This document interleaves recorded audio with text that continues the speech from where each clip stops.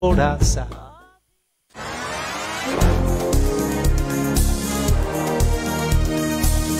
Вы слушаете радио Болтком. Утро на Болткоме.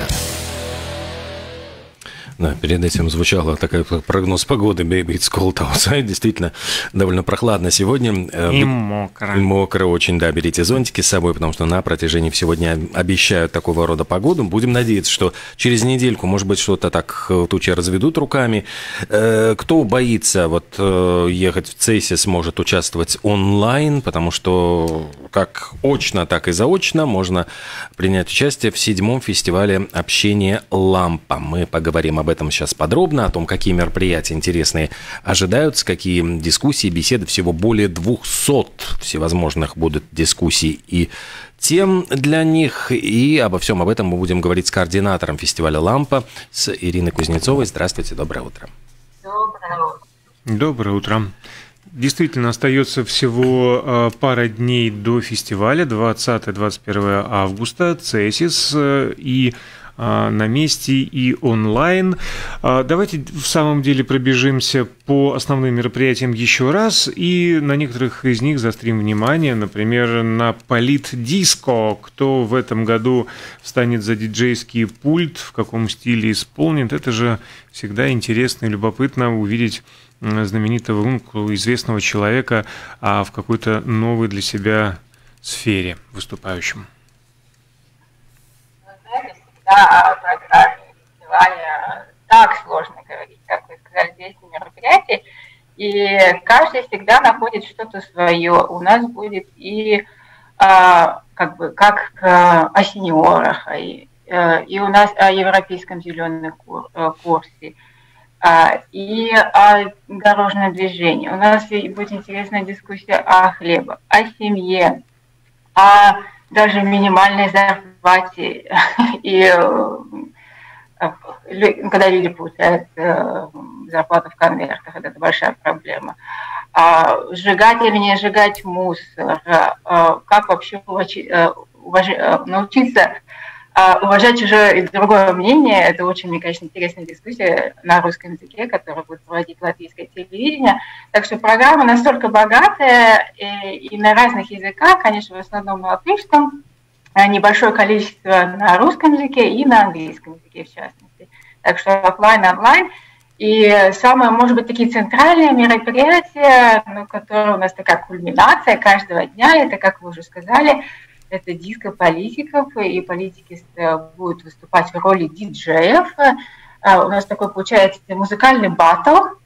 Э, будет три пары. Я сама еще не знаю, как пары распределяться, но своими музыкальными вкусами будет мериться депутат Сейма Инес Войка Марис Мичуревскис, депутат Европейского парламента Ирс Ипс, министр образования Анита Мужница, э, депутат Сейма Рихард Коус и э, советник министра э, финансов Инс Талдерис. Так что у нас очень такой провинентный состав. Это пятница вечер, по-моему, начинается уже после 10 часов вечера в Цесисе. И, конечно же, будет прямая трансляция на нашей домашней страничке Фестиваль с и запись будет так что это будет довольно-таки интересно, как я, я, сами я могу... политики будут да. рассказывать о своей, может быть, о себе, о своих взглядах, своих ценностях через музыку. Я могу уточнить, э, это 20 августа 22.45. А да. что касается музыкальных стилей, ну хотя бы намекните, кто может что исполнять. Диско, техно, лаунж, хаус, знаете, это всегда реально такой сюрприз для нас самих. Потому что мы иногда знаем, подозреваем, что вот этот политик, может быть, любит или рок, или металл, или техно. А здесь действительно будут э, разные вкусы, э, разные поколения, что очень важно. А, и поэтому это всегда очень большой сюрприз, особенно а, э, ну, будут заданы конкретные темы. Тема будет, я подробно не знаю, но тема, может быть, какую песню вы слушали э, в школьные годы, какая вам запала в душу. И это очень хорошо показывает и раскрывает человека, mm-hmm. а, ну, как бы его сущность. То есть через содержание песни можно будет как бы понять, почему именно он ее выбрал. А если вот э, говорить о, о дискуссиях, все-таки вот э, я понимаю, что очень многие такие острые темы, там как зарплаты в конвертах, и э, вот в чем, как вы думаете, в чем смысл вот этого обсуждения? Что должно быть? Это выпустить пар или, может быть, э, объяснить какие-то проблемы, проговорить? Вот что, как, какой как, цель вот этих дискуссий? Чем они должны зак- закончиться? Очень нравится этот вопрос. Безумно нравится, потому что каждый год его задает, а, задает обычно, ну, поговорили, и что из uh-huh. этого изменилось. И мне кажется, а, надо немножко изменить а, ракурс вопроса, и, потому что дискуссия, общение, общение само по себе ценно. Если мы перестанем общаться, то, по сути, даже наше как бы демократическое общество, оно станет, может быть, таким, как такой э, пустой скорлупой сами дискуссии, беседы, лекции, дебаты, это не только э, развивает человека, но это и место встречи разных мнений. Мы можем поговорить, мы можем вдохновиться, а, мы можем, сами того не подозревая, к этой теме потом возвращаться, и мы даже не поймем, что да, вот эта беседа не обязательно на лампе, это или, может быть, прослушиваем интересную передачу на радио Болтком, какая-то интересная информация, а может быть действительно новое начало. Человек вдохновился, стал учителем биологии, пошел работать э, действительно молодым учителем или поменял карьеру.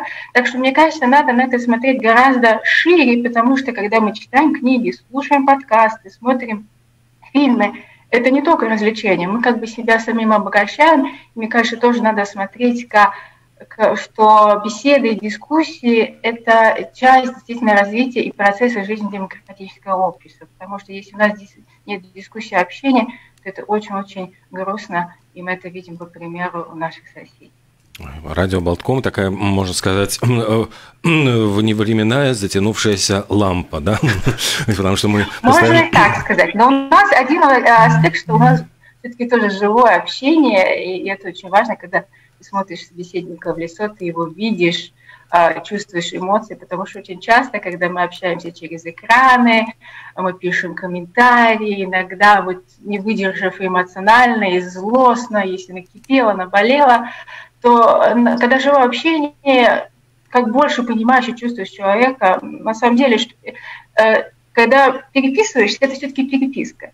Вот. А вот общение это все-таки подразумевает какой-то диалог, какой-то эмоциональную близость. Ну, в первую очередь э, согласимся с вами, безусловно, и приглашаем вас в студию в следующий раз. Я надеюсь, не последний раз общаемся. А, а во-вторых, что касается вот этого накипело, наболело, будет же еще традиционная прожарка, да, если кто не знает, вот это вот то, что называется модным словом а, прожарка, означает э, высмеивание. Такое ироничное, саркастичное высмеивание человека за какие-то его достижения или, наоборот, э, провалы, проколы.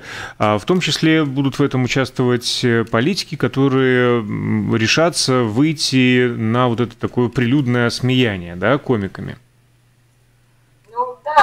Это формат, который уже проходит мой год э, подряд. И стало, это заключительное мероприятие, которое, может быть, такое, мы всегда оставляем э, на десерт. И мы всегда безумно уважаем всех политиков за их э, храбрость, которые подписались. Потому что все-таки э, не каждый сможет выдержать, что над тобой ну, здорово посмеются. Ну и, соответственно, каждый политик всегда должен подготовить выступительную речь, свою защиту. Она тоже должна быть с юмором, с легкостью. И одна из целей, конечно же, пожарки политиков – чтобы, может быть, люди, которые не следят за политическими или общественными событиями, услышав шутки, поняли, ну, а может, мне все-таки стоит действительно последить и знать больше, если, как бы, чтобы понять саму шутку, потому что действительно э, шутки в, в основном за все, что было сделано и сделано э, политиками, в основном в политической карьере. У нас в этом году будет трое. У нас будет министр э, внутренних дел Мария Голубева, а, там бывший, а, не, нынешний, ну уже бывший министр а, и многократный и депутат Сейма Вячеслав Добровский, и министр юриспруденции э, Янис Борден. Так что у нас очень хороший состав в этом году, э, и будет действительно жарко. Конечно же, будет и такие, может быть, немного перца прибавим, и жара, чтобы было и весело, и интересно. И мы с юмором посмотрели на самих себя. Мне кажется, это очень важно. И, что когда человек, неважно, политик или не политик, а, он может посмеяться над своими ошибками, над своими какими-то оплошностями. И это как-то показывает даже на человека, что он как бы здорово к этому все относится. А насколько все-таки откликаются политики, потому что действительно ведь многие боятся то, что это может уронить их эм, в глазах избирателей, может быть, если они, ну вот, как-то повредить их политической карьере, если они будут выглядеть, может быть, недостаточно убедительными или, ну, не смогут э, одержать верх над теми, кто их высмеивает. Ну, вы знаете, это всегда такое, как сказать, э, Процесс довольно-таки долгий. Э, не каждый политик э, нам э, отвечает, что да, я готов сразу же, через час после того, как мы его пригласили. Конечно, многие думают, взвешивают, и мы действительно стараемся приглашать тех, которые мы понимаем, да, он сможет это выдержать, или она сможет это выдержать, и, и, и получится хорошая речь защиты. Поэтому это всегда такой баланс и как бы ну, политиков, которые действительно а, смогут э, и, э, с юмором за себя постоять и, и посмеяться над, над самим собой, над, над всей ситуацией в целом. А бывали какие-то срывы со стороны политиков?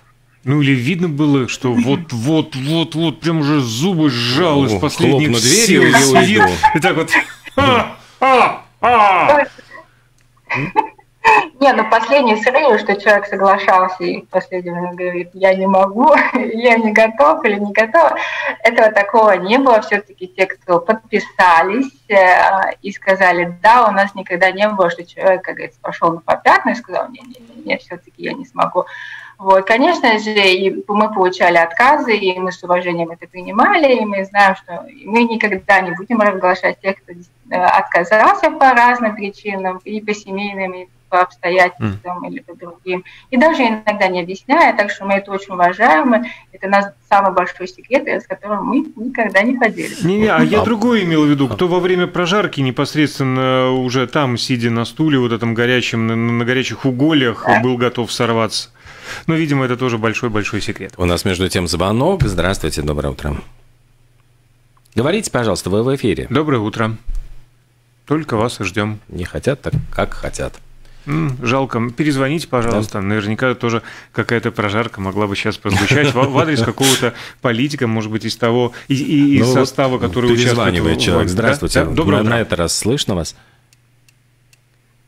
Нет, по-прежнему. Что с кем же вы разговариваете? Да. Точно не с нами. Итак, Мария Голубева, а, Юрис Борданцы, Вячеслав Домбровский а, будут отданы на публичное осмеяние в этот раз.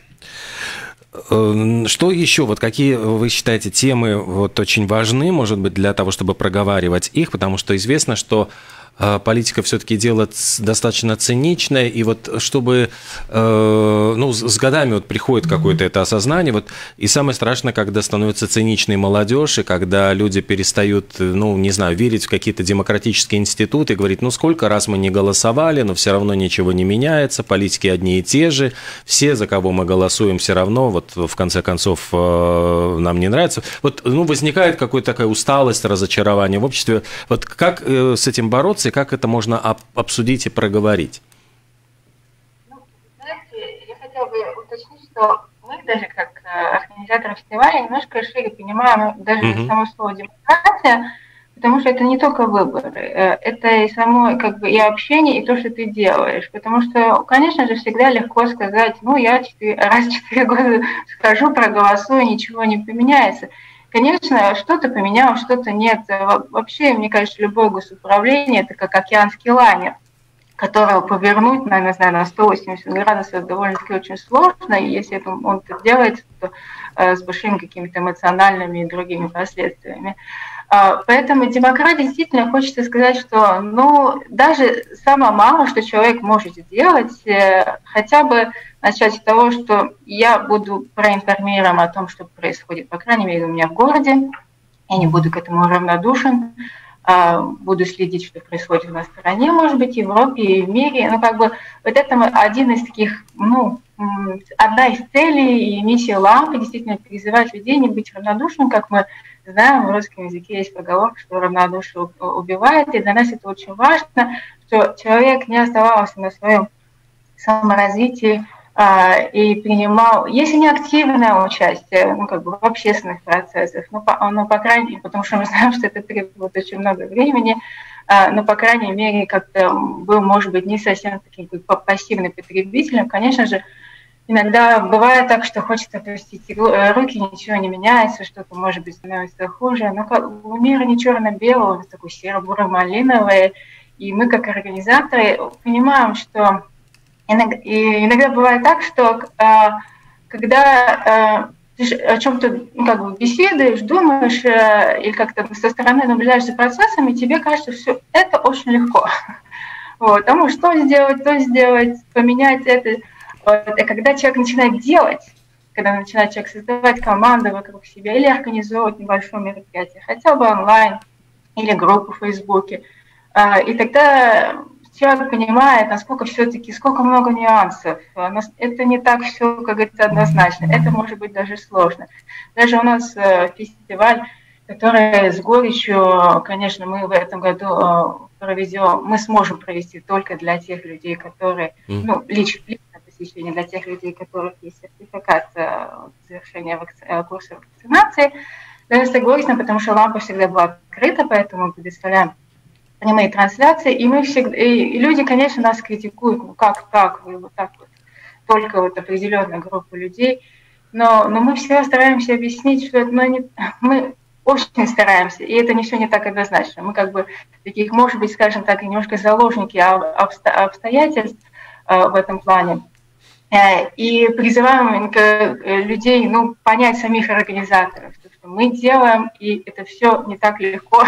Так это прекрасная тема для дискуссии, вот вакцинация, вот нужно ли допускать всех или нет, можно как раз и обсудить на, одном, на одной из дискуссий. Причем да, те, да, кого да. не допустили, будут кричать из-за забора свое мнение. Да.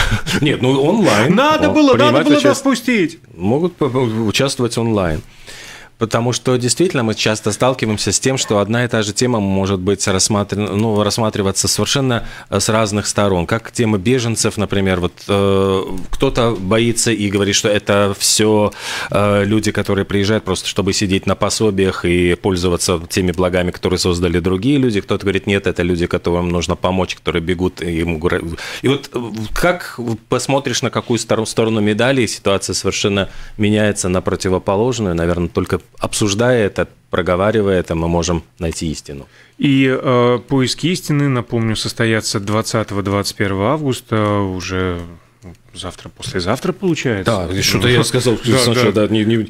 Я сказал на днях завтра, завтра уже в Тесисе начинается э, фестиваль ламп, э, более 200 дискуссионных э, площадок, ну, точнее тем, которые будут вынесены на дискуссию. Мы благодарим за участие в нашем эфире Ирину Кузнецову, координатора фестиваля. Желаем удачного мероприятия и хорошей по возможности погоды. И всегда, конечно же, ждем в гости и, и, и на расстоянии через Zoom, и вживую в студию. Приходите, очень будем рады пообщаться. А, что ж, сейчас да, мы прервемся, после чего поговорим. А, у нас очередной э, сегодня гость, директор департамента инфраструктуры автодорог э, Министерства путей сообщения Талы Валдес Ветстирнс. Мы поговорим о ситуации на латвийских дорогах в плане безопасности, потому что последнее время стало очень много, это прям бросается в глаза, аварий, к сожалению, с э, летальным исходом.